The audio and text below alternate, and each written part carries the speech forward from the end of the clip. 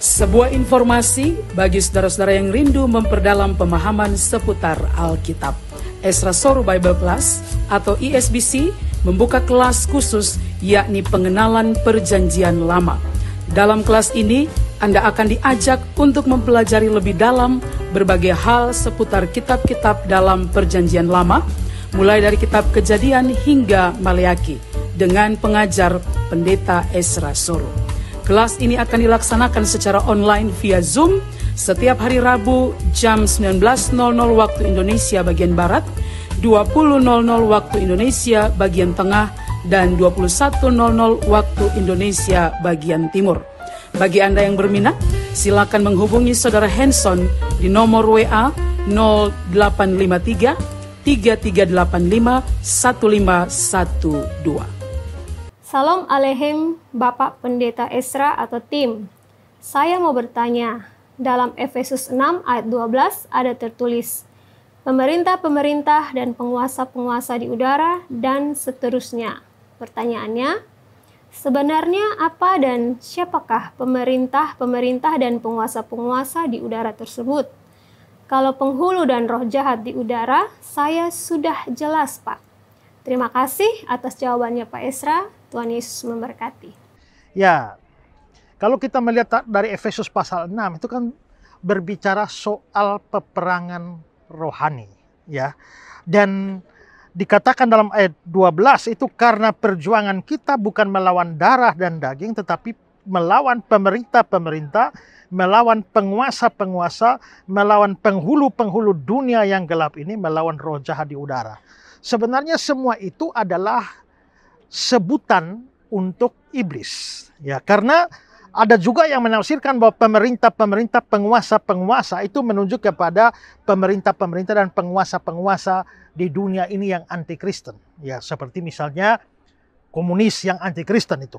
Ya, itu dianggap sebagai pemerintah-pemerintah dan penguasa-penguasa atau misalnya adalah kaisar-kaisar Roma, pemerintah Roma yang memusuhi Kristen. Nah itu dianggap pemerintah-pemerintah dan penguasa-penguasa di sini. Tapi menurut saya tidak. Karena kalau itu merujuk kepada pemerintah-pemerintah dan penguasa-penguasa, itu berarti ada kepala pemerintahannya, ada kaisarnya. Dan itu berarti kan kaisar-kaisar itu juga dari darah dan daging. Padahal ayat ini mengatakan bahwa perjuangan kita itu bukan melawan darah dan daging. Jadi ini sebenarnya adalah sebutan yang banyak ini menunjuk kepada iblis dan pengikut-pengikutnya. Nah, kita bisa tahu itu dari mana? Satu ayat sebelum ayat yang ke-12. Kenakanlah seluruh perlengkapan senjata Allah supaya kamu dapat bertahan melawan tipu muslihat iblis. Nah, setelah itu baru dia bilang karena perjuangan kita bukan melawan darah dan daging, tapi melawan pemerintah-pemerintah, penguasa-penguasa, penghulu-penghulu dunia yang gelap ini. Maka sebenarnya seluruh sebutan itu merujuk kepada iblis. Selain itu, kita juga bisa melihat bahwa perlengkapan senjata Allah diberikan untuk peperangan itu. Maka dibilang di dalam ayat yang ke-14 itu berikat pinggangkan kebenaran, berbaju sirakan keadilan, kaki berkasutkan kerelaan beritakan Injil, lalu juga pergunakan perisai iman, lalu juga terimalah ketopong keselamatan, lalu pedang roh yaitu firman Allah. Kalau itu adalah pemerintah-pemerintah dan penguasa-penguasa di dunia ini, yang bersifat materi, maka itu tidak cocok dengan senjata yang diberikan. Karena senjata diberikan itu adalah senjata-senjata rohani. Nah, karena itulah maka harus diartikan bahwa pemerintah-pemerintah dan penguasa-penguasa di situ itu berbicara tentang musuh secara rohani yaitu iblis.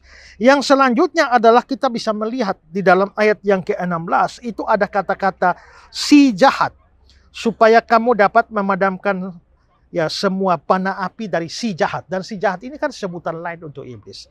Karena itulah maka kita bisa melihat bahwa semua istilah pemerintah, pemerintah, penguasa, penguasa, penghulu, penghulu dan juga roh-roh jahat semua itu merujuk kepada iblis. Nah, satu hal yang menarik di sini adalah bahwa semuanya ditulis dalam uh, bentuk jamak, pemerintah-pemerintah, penguasa-penguasa, ya lalu penghulu-penghulu, roh-roh. Dan itu menunjukkan bahwa musuh kita secara rohani yaitu iblis itu sangat-sangat banyak dengan kaki tangannya. juga menunjukkan bahwa mereka sangat kuat karena istilah yang dipilih oleh Paulus adalah istilah-istilah yang menggambarkan kekuasaan, penguasa-penguasa, pemerintah-pemerintah, penghulu-penghulu. Nah, maka semua itu istilah yang menunjukkan bahwa si penyandang istilah itu itu mempunyai power yang sangat hebat. Maka di sini menunjukkan bahwa musuh kita secara rohani itu sangat-sangat hebat.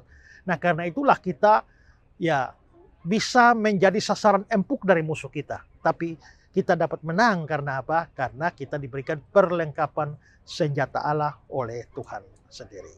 Syukur kepada Tuhan. Jelang tahun kedua, Yayasan Karya Bakti Esra Solo terus berkiprah dan semuanya tidak terlepas dari segala bentuk dukungan dari saudara-saudari simpatisan di seluruh pelosok negeri, bahkan di luar negeri. Karena itu kami begitu bersuka cita dan bersemangat dalam melayani. Dukungan saudara berupa dana telah memberkati begitu banyak pekerjaan Tuhan yang dipercayakan melalui yayasan kami.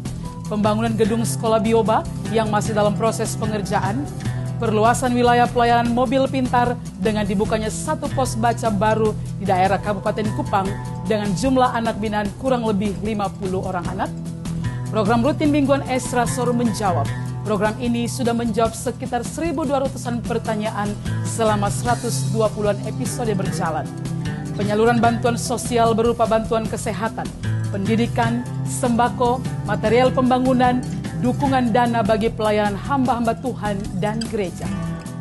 Dan dengan segala fasilitas broadcasting dan multimedia yang cukup memadai, Yayasan Karya Bakti Esra Sorut terus berupaya menjalankan visi dan misi pemberitaan Injil dengan cara yang lebih kreatif dan menarik melalui pembuatan film rohani lokal bertajuk Bukan Sebatang Toge yang akan segera tayang sebagai salah satu sarana penyebaran Injil yang efektif di era digital saat ini.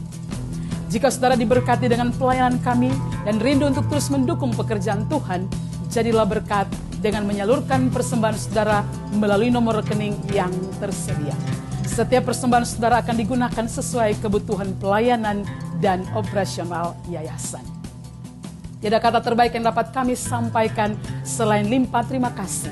Mari terus berkarya dan berbuah bagi Tuhan dalam setiap pekerjaan yang baik bersama Yayasan Karya Bakti Esra Soru. Allah Tritunggal memberkati. Shalom.